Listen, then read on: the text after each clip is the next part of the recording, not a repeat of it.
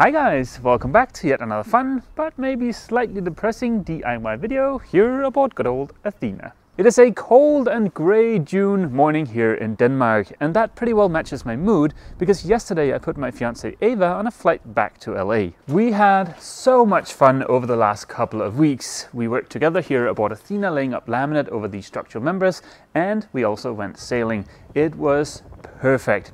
For us to be able to have a future together, I do need to finish Athena so we can move aboard. So uh, let's head up. While Ava was here, we came up with a very cool 10-step, 5-year plan for our life together and our cruising. For now, I'm just going to focus on the first year and a half, which for me entails working on Athena, and for Ava, graduating school. I'm afraid there's not going to be too much new under the sun in this video because I'm still waiting for the plywood for the new bulkheads and the cabin sole to show up.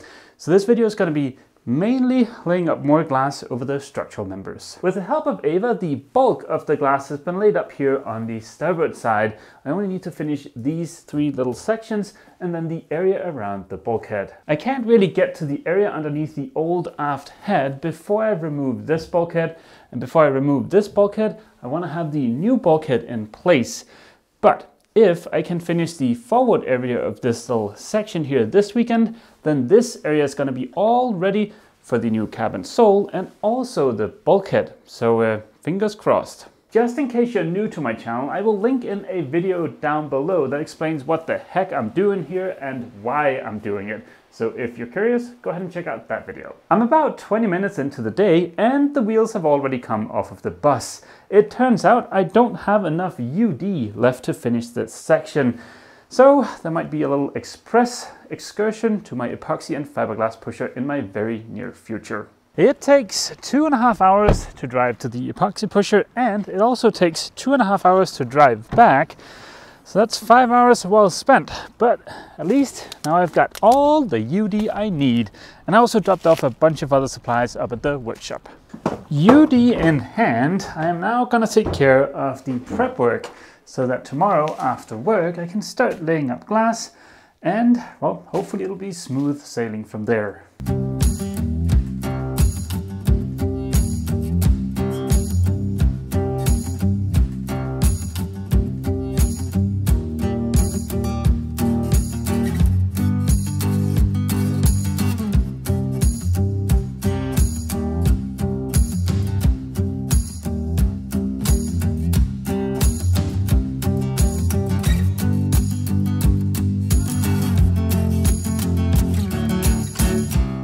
Welcome to the workshop. I figured for this video not just to be about me laying up laminate, it would be fun if I took another stab at this bushing for the rudder. As I'm sure some of you can remember, about a month ago I took a stab at making a new one of these bushings, and that's this guy here. Now that was kind of doomed to fail from the beginning because the scrap piece of palm I had was not big enough, so I had to hold off until the end to cut it down the middle. And that means the hole here in the center would not be round. So that is certainly an issue. And also I messed up the diameter in here. I've already chopped off a fresh piece of pump, split it down the middle and secured it. I've cleaned up the end here, but as you can see, there is quite a lot of material we need to remove.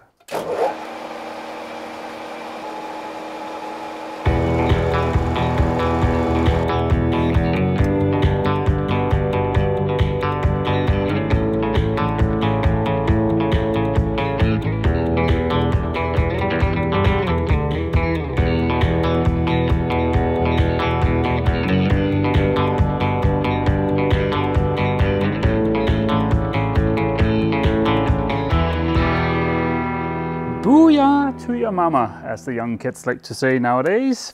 The new part is now within a 100th of a millimeter of the old part, so that is certainly plenty accurate for this. Before I get to the tricky part, which is most definitely going to be the inside hole here, let's just go ahead and put a little chamfer on this edge here just to bump up the spiffiness a little bit. Okay, now easy does it. Something like this should do. And of course, this doesn't matter when it comes to the function of the bushing. It's more just it looks a little bit nicer. Now for the terrifying inside hole. Fingers crossed. God Dang, fiddlesticks, this wasn't supposed to happen. The entire thing just kind of shifted on me. Oh well. Seeing as I no longer have Ava with me, I might as well settle into the grueling routine that's going to be to come here every day after work and take care of a section. And by section I mean either one of these or one of these. Judging by the first one of these I laid up, I should be able to take care of one of these sections in roughly 5 to 6 hours, and I'm guessing one of these is going to be around 4 hours, but uh, today will be the benchmark for that. This is most certainly going to be quite the grind and ridiculously tedious, but seeing as I don't have anybody here to help me, Slow and steady wins the race. Fear not, because although it is going to take me somewhere close to three weeks to lay up all of the glass, or at least that is my estimate, in next weekend's video, I think I'm going to be putting in the new bulkhead, so that should give you guys something a little bit more interesting to watch rather than just watching me lay up glass. Enough yammering on, let's cue up some music and get started.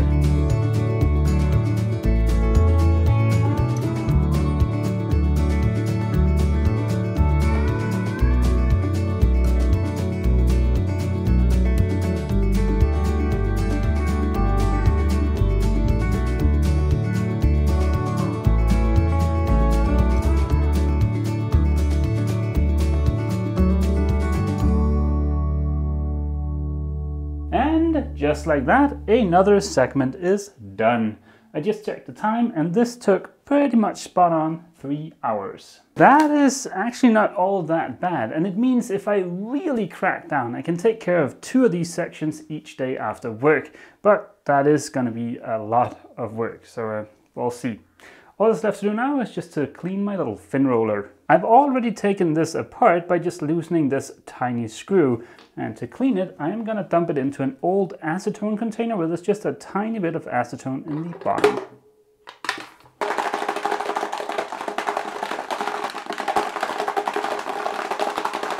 It's the first time I've tried this method of cleaning the fin roller so it'll be interesting to see how it works out.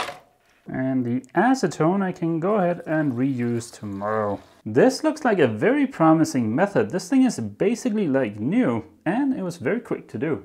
I've heard that variety is the spice of life, so let's go ahead and see if I can fix that bushing I almost wrecked yesterday. Just in case it is not completely obvious, I am not used to working with a lathe, and the simple fact that I haven't killed myself yet is, well, kind of surprising. I am sure there is a different way of clamping this guy, so what happened would not have happened. But, uh, well, that is the joy of learning. I've got something here that I've wanted to take for a test spin for a long time, and although it's definitely a janky solution to fixing this little issue here, I think it's worth it just to try out this guy. This is a Clamptite. It's a gift from a subscriber, and it claims that it will be able to clamp or band anything. I think my bushing qualifies as an anything. Cut wire to length, four times the item you are clamping, plus 12 inches. Fold wire in half. I am sure somebody that's used to using this contraption can make this look a lot tidier, but uh, let's go ahead and see if this works. This thing is really tightening down hard. I don't think I'm gonna tighten this anymore because I don't wanna damage the surface here. I'm pretty sure having to reclamp this is not really ideal, but we'll see if it works.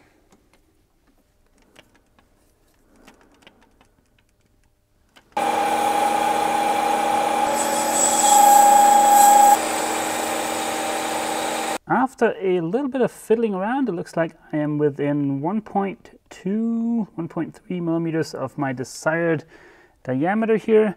Now in an effort to not mess this up, I'm gonna leave it like this overnight and then tomorrow morning I can check with Mr. Cement Boat Guy to see if he's got any tips for how not to mess this up. It's around 11 o'clock at night and that means my alarm will be going off in seven hours. So I think it's time to head back to Obelix and take a little nap. Nap and a full day's worth of work completed. Let me show you guys a little magic trick. Are you ready? Here it comes. Ta-da! And that is how you turn hours and hours of work into a split second of video. Pretty impressive magic trick, right? It's official. The starboard side is done, with the exception of the area underneath the head, like I mentioned earlier in the video. Good morning guys! It is Saturday, the weekend is finally here. Now I could continue laying up glass, but seeing as I can take care of one of those sections each day after work, I think today is better spent preparing for putting in the new bulkhead. Like I've mentioned, I would much prefer to put in the new bulkhead before removing the old one. But before I can do that, I need to do a tiny bit of demolition up here, and I also need to make a template. The bulkhead is going to get moved forward to right around here. And what you're seeing up here is a piece of plywood that's kind of loosely glued to the side of the cabin tub, just as a piece of trim.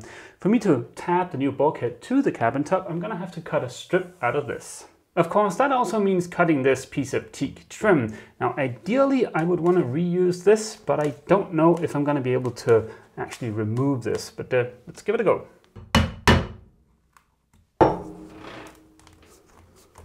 Nice! It appears this is just screwed in, it's not glued, so um, I should be able to remove this and reuse it.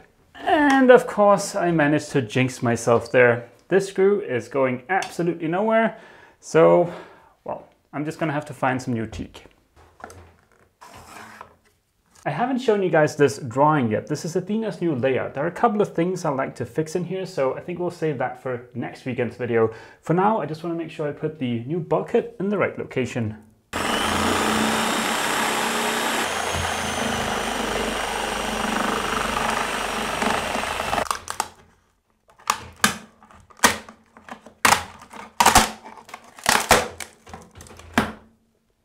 This is what I meant with loosely glued on. As you can see, there is not much of a bond here.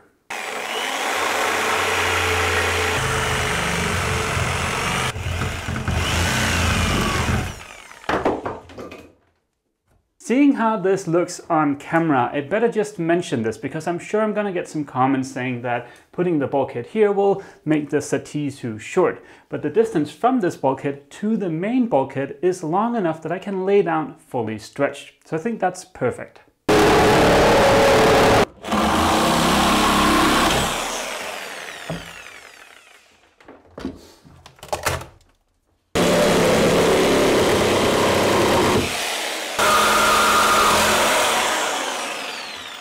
With that out of the way, everything that stands between me and being able to make the template for the new bulkhead is a little bit of sanding.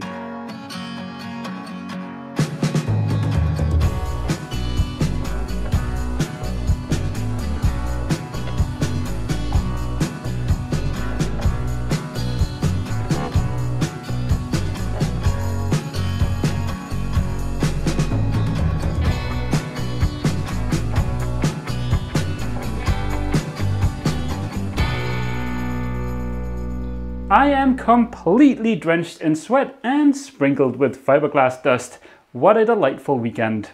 But the good news is I'm finally ready to make the template for the new bulkhead. As you can see here, some of the old tabbing let go of the hull when I was struggling to get this piece of plywood out of here. I've completely ground away all of that tabbing just to get into a good laminate. To make my template, I'm going to be using some strips of MDF that I've already ripped to size and a hot glue gun. Up until a few hours ago, I had never owned a hot glue gun before, so this is very exciting and I have high expectations from this one. I'm sure some of you can remember how pleasantly surprised I was with this thing, and look, they're the same brand. The boat is tilted ever so slightly forward and to starboard, so I can't use a level to get this right, but I can use the old bulkhead as a reference.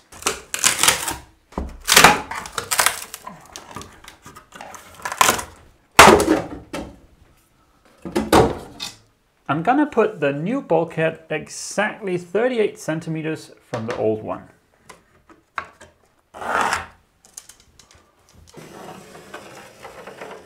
Now that I've got a somewhat accurate pencil line to guide me, it is time for the hot glue gun to spring into action.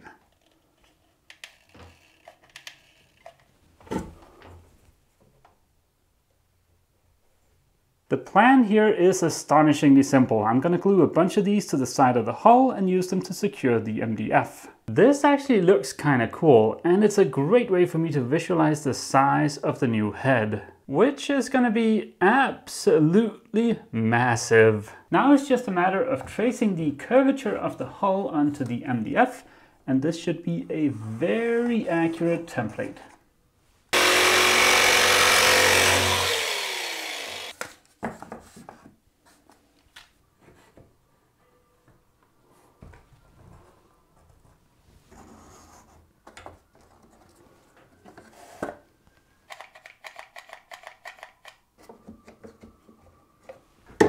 I'm pretty confident I'm gonna get a good template out of this. On goes another piece of the puzzle.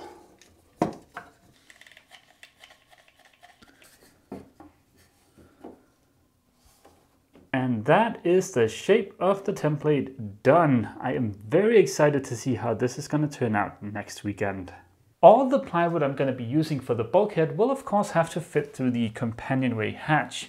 And it looks like I can get away with maybe 80 or 90 centimeters. I can rip the plywood to size up at the workshop and I can also do the scarf joints up there. So all I have to do here aboard the boat is just to put the pieces together and tab the bulkhead in place. A width of 80 to 90 centimeters is gonna put my scarf joint right around here which is perfectly okay. I am really excited to see how this is all gonna pan out next weekend. I can hardly wait.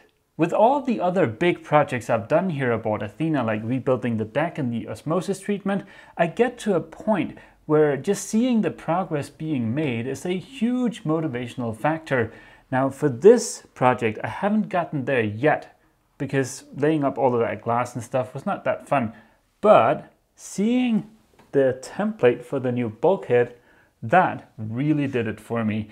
And I think next weekend when the bulkhead goes in, it's gonna be awesome.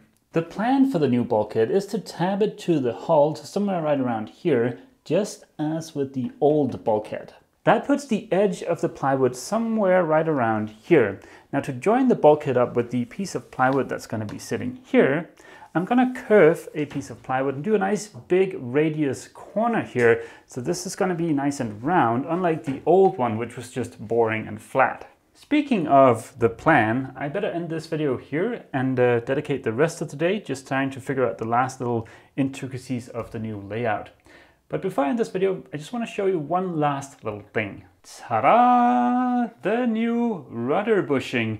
Under the watchful eye of my own personal Yoda, Cement boat guy helped me do the last little bit of work to this and it is now absolutely perfect. Pump does swell up a little bit once it's submerged, so we oversized the hole here by, I believe it was two tenths of a millimeter, but yeah, this thing should be spot on. So the rudder is almost ready to go back on. There are two more bushings and they're kind of weird because they're very, very thin. They're only about two or three millimeters thick. And it'll be very interesting to see what happens once you go that thin on the lathe. But yeah, the rudder is almost ready to go back on.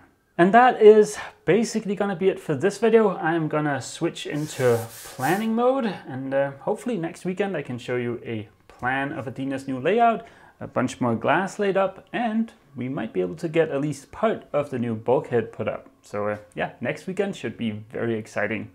As always, feel free to leave a comment down below and don't forget, if you've enjoyed this video, remember to leave a like.